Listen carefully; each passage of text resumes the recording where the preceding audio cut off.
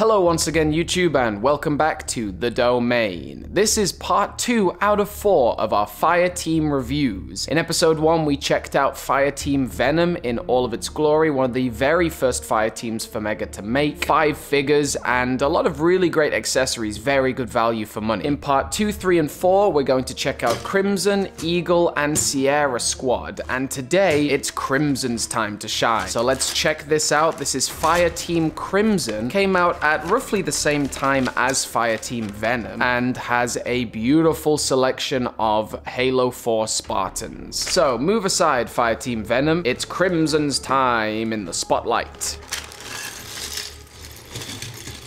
dump all of those accessories out. And yes, I managed to get these from a friend online, and these are 100% complete, which, as I was mentioning in my previous video, is pretty rare to find 100% complete sets in Mega Construx. Like a lot of people, you know, maybe they don't take the best care of their Mega Construx and they'll always lose the occasional piece, but this is a 100% complete set which I, you just you just love to see. In this glorious set, we have five red matching Spartans. Here's our Spartan recruit from the very start of Halo 4. I have always loved the base Halo 4 armor sets. I love recruit, soldier, warrior. They're all really nice, and this one is no exception. Like this is really great. We got the Spartan Mark 6, Halo 4's Master Chief, looking pretty fine and dandy there. Then we've got the Orbital Enforcer and Scout, and oh no the orbital's missing his leg there. All really great armors, honestly. And Mega, you know, they got a lot of forward investment when Mattel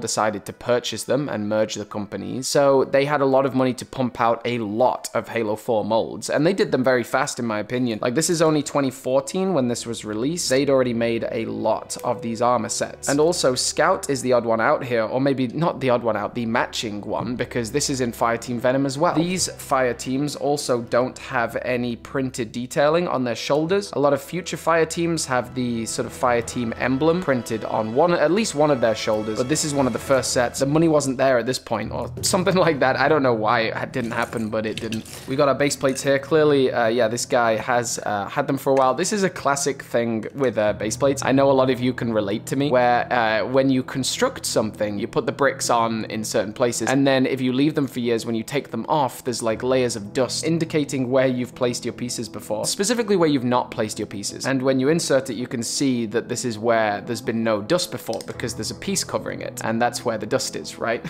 so there was no dust on the previous one. And obviously I'm putting faith that there's 100% uh, complete pieces here. I don't actually know, but I'm pretty sure. It's looking pretty good at least. All right, this one, to my delight, follows a more Promethean theme to it. There's uh, a really nice Promethean tower we're going to build. Obviously, Prometheans being the main core focus of Halo 4, as well as the Storm Covenant, but the Storm Covenant were kind of just there because we like shooting at Covenant, right? And also, they already know how to program Covenant. But the Storm Covenant definitely took a backseat in the story to the Didact, for sure. All right, we got a nice beam of light. There were so many good Halo 4 sets back in the day, which came with really awesome Forerunner structures. Things like the Oni Siege Bike. I would actually love to make a video running down all the sets that came with Forerunner structures, because there were so many good ones at the time. That would be a really fun video at some point. All right, we build these two, and these have have to be sort of like uh, mirror opposites of each other, just based on this piece, uh, like which way it goes. Okay, and then we snap these in. Let's see which way round we want. Yeah, in they go. And the beacon is responding. Look at that. That's nice. Like, it's simple, yes, but in terms of setting the scene, in terms of an actual diorama piece, like you could build an entire diorama around that if you wanted to. A beam of light shot into the sky, and both the Storm Covenant and the UNSC ran to defend it, or capture it, I guess. Look at that. That's a nice tree, man. And this comes with way more foliage than the first one as well, than Fireteam Venom. So already massive hats off to this one. Yeah, look at that. That is nice, man. That is really nice. Uh, yeah, Fireteam Venom just came with two little loose pieces of foliage, but that one more focused on this uh, flag structure. This one does come with a flag as well, though, and it also comes with this, uh, which is meant to have a Spartan flying through the air. In the future, we found that Mega has way better ways of uh, assisting flight. There's just better pieces that exist nowadays that is essentially it for the building. Uh, we also have a nice little barricade barricade, which also love to have barricades. You can never have enough barricades. Very nice. That is seriously cool. You love to see it. You love to see it. Apparently, we put the flag on top of the crate, which is an interesting choice. Oh, a very prominent logo there. Very, very easy to see. The Venom logo was a little bit more blurred, a little bit more difficult to see on the green, but that stands out really well. What a great looking flag. And then we've got all of our weapons, goodness me. In the Fireteam Venom set, we got a missile pod. In this one, it's a chain gun. I think most people would prefer a chain gun in their set. I mean, look at that. It's just so badass. But I, I, I like both in, in some ways. I mean, chain gun's the one, though.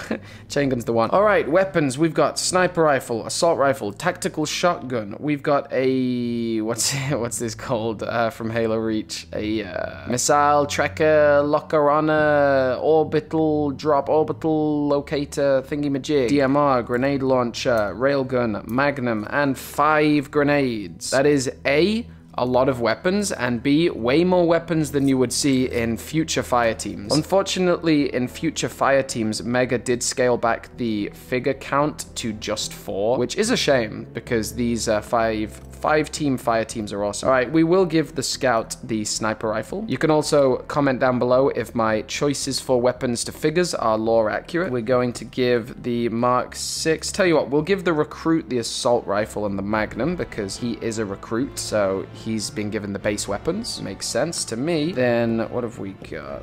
We'll give you the grenade launcher and the railgun. Why not? Target locator. Yeah, target locator. That's the word. That's the word. For our Mark 6, we'll give him a tactical shotgun and a DMR. Beautiful. Then we've got a few grenades. We'll put most of the grenades in our weapon crate. Always good to have more weapon crates. You can literally never have enough of those. I've also found that the grenades, I don't know if you can relate, the grenades are quite difficult for these early fire teams to keep hold of. I don't know why. Something to do with their hands. Maybe the grenade mold is not thick enough. I don't know. So same as Fire Team Venom. Let's switch up this camera angle and display them in a diorama.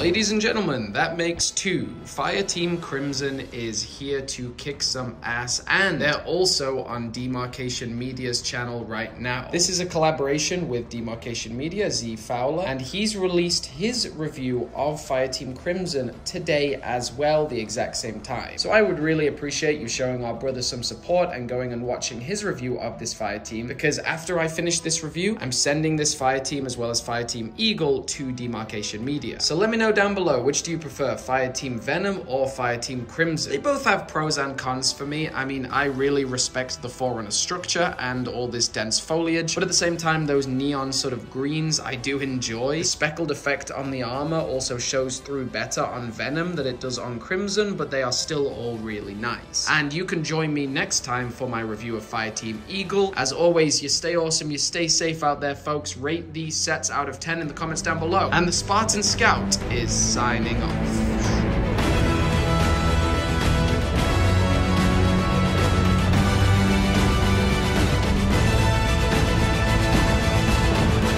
Missile tracker, locker on orbital, drop orbital locator thingy majig.